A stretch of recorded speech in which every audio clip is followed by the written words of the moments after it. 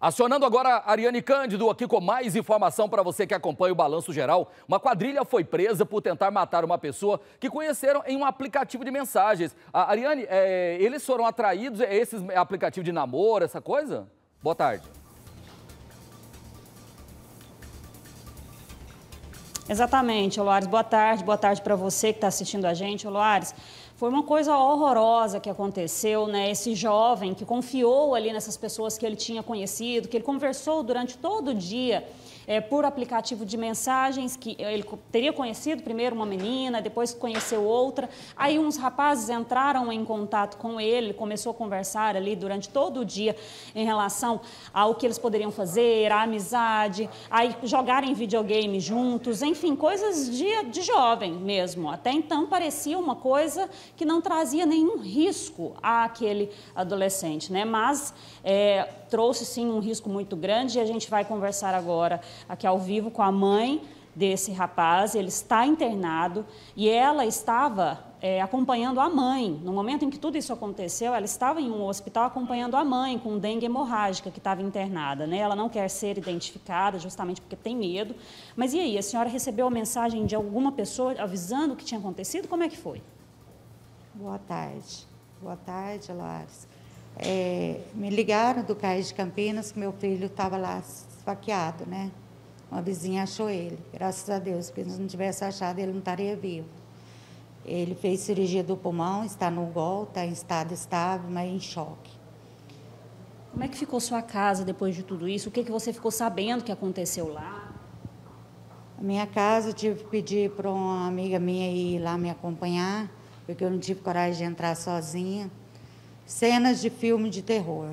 Muito sangue, tudo Muito bagunçado? Sangue, tudo revirado, roubaram, fizeram o que quiseram com ele lá, espancaram, torturaram torturaram seu filho. Quando, esse, quando esses jovens chegaram lá, é, falando que eles iriam, né, Olares, eles foram até lá na desculpa de que iriam jogar videogame juntos, seria isso, né? Mas, ao chegarem, anunciaram o assalto.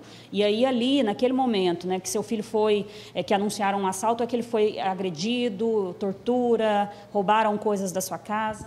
Sim, roubaram, roubaram cartões, né? pegaram o dinheiro da minha conta, fizeram compra no meu cartão de crédito. E eu não estava, porque eu estava no hospital, mas o que a Polícia Civil me passou, né, pelas conversas que eles investigaram, foi isso. Conheceu no aplicativo, né? E, e, eu conversei com ele no momento que eles entraram, que ele abriu o portão, já puseram a arma nele. O delegado disse que a arma é de brinquedo. E começaram a torturar ele. Minha casa está cheia de sangue, toda revirada. Mas eu quero agradecer à Polícia Civil, doutor, a equipe do doutor Murilo, que fizeram um trabalho excelentíssimo. Eles foram dormir seis horas da manhã, conseguiram prender. E eu falo que eu acredito na justiça. E é o que a gente quer também, é que a justiça seja feita. Ela, depois disso, né, que, a, que você recebeu essa ligação lá do Cais de Campinas, a senhora chamou a polícia. A vizinha chamou a polícia, mas a polícia militar ele estava com confusão, não sabia explicar. Foi, mas não aconteceu nada. E aí chamou o SAMU e levou ele. Assim que eu saí do gol, que eu deixei ele no gol, eu liguei para a polícia novamente. A menina, expliquei, ela falou que eu tinha que ir na delegacia. Aí eu expliquei novamente, contei a situação. Ela ficou muito comovida, a policial do, do 190, e já imediatamente acionou a Polícia Civil. Né? A Polícia Civil. Vamos então conversar aqui com o delegado responsável por essa investigação, que está aqui com a equipe, doutor Murilo Leal. É, boa, boa tarde. Doutor, e aí? Vocês foram até lá, conseguiram começar então uma investigação e uma corrida contra o tempo para tentar prender essas pessoas em flagrante. Como é que foi? Com certeza, boa tarde. Lores, boa tarde a todos da Record. Então, assim que tomamos conhecimento, de imediato já deslocamos para o local do crime, juntamente com peritos, papiloscopistas, e começamos um trabalho de investigação, principalmente atrelado à área de inteligência. Né? Em poucas horas conseguimos identificar esses indivíduos, fomos ao hospital, né? conversamos com a vítima, que estava né, em estado grave, mas já, já estava estável, conseguiu conversar com a nossa equipe, fizemos as diligências e conseguimos identificar e prender esses quatro indivíduos né, no mesmo, na sexta-feira. Quem são essas pessoas? Eles arquitetaram esse crime? Estava tudo planejadinho? Então, é, conforme dito, né, a vítima conheceu o Renan, que é um dos assaltantes, um dia antes do crime, através de um aplicativo de mensagens, relacionamentos, no intuito de fazer novas amizades. Né, que conquistou a confiança da vítima durante um dia e a vítima passou a localização de sua residência né, para se conhecerem. O Renan, juntamente com outros três indivíduos, que é o Lucas, a Stephanie e um menor de idade, foram à residência da vítima né, e assim que chegaram, anunciaram um assalto de forma extremamente violenta. Amarraram a vítima, amordaçaram a vítima, né, praticaram diversas agressões contra a vítima durante cerca de 50 minutos, né, principalmente na região da cabeça, e de forma muito covarde esfaquearam a vítima na perna e no tórax.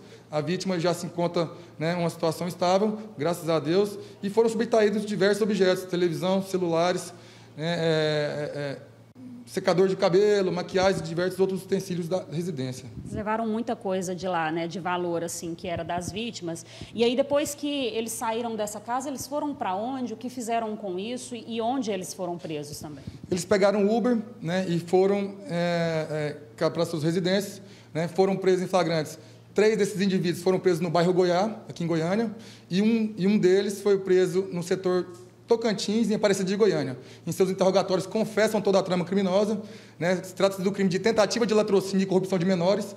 A menor de idade, que tem 14 anos, foi feito o procedimento de auto de prisão e apreensão e encaminhado para a DEPAI, que é a delegacia que apura atos infracionais, e também está à disposição do Poder Judiciário. É, é importante observar que a, o flagrante foi convertido em prisão preventiva, em audiência de custódia desses três indivíduos, e fica o alerta para a sociedade, Olores é, para ter máxima cautela, né, principalmente nesses casos de, de de dados pessoais e também encontros casuais, sobretudo esses praticados, inicia, iniciados por aplicativos de mensagem e relacionamentos. Né, pesquise mais a, a pessoa que se vai estar tá se conhecendo, né, tenha mais certeza sobre a índole dela. Se for fazer encontro casual, faça em locais públicos, você vai evitar, né, com porcentagem maior, esse tipo de situação. É, exatamente. Ele já passou o endereço da casa dele, o que tornou um risco muito grande. Ele estava lá sozinho, né, Loares? Qual é a sua pergunta? eu queria saber o seguinte: é, parece ser um pessoal muito organizado. Há suspeitas de que esse grupo possa ter feito outras vítimas além desse rapaz?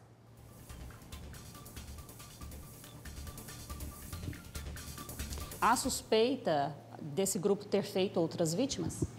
Com certeza. Durante as nossas investigações, nessas horas que a gente é, antes do flagrante, né, descobrimos é, eles, eles são investigados em outros crimes patrimoniais também, né, suspeita de outras situações é, semelhantes. Então, por isso a divulgação da imagem desses três maiores de idade.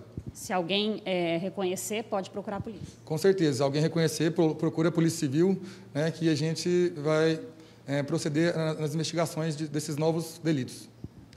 Obrigada pela sua participação. E a mãe, né, que está aqui, resta ela realmente assim, aquilo que a gente estava conversando antes, aqui é pedir justiça, né?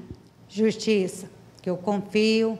Agradecer a equipe do doutor Murilo, que me deu todo apoio, as meninas, apoio psicológico, apoio de tudo que eles continuem presos. Esses três maiores estão presos preventivamente, a menor está à disposição da justiça. Agora fica aquela, aquela situação, né? Todos eles, inclusive, esses maiores, já têm passagens pela polícia, seja assim, assim, por uso de drogas ou até por outros crimes. E essa menor, agora à disposição é, da justiça, vai ali é, aguardar o que vai ser feito dela daqui para frente em relação a essa passagem, porque vai ter que cumprir ou por tentativa de latrocínio. E eles podem pegar é, os maiores né, até mais de 20 anos de prisão por esse crime.